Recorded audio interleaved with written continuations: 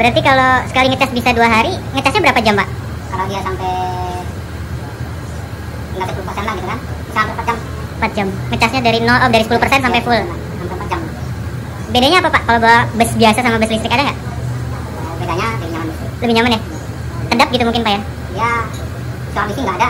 Hmm. Dia kan nggak keringat soal bising juga kan. Lebih nyaman, jauh lebih nyaman. Dia semua tenaganya tenaga angin semua. Pentingannya juga lembut.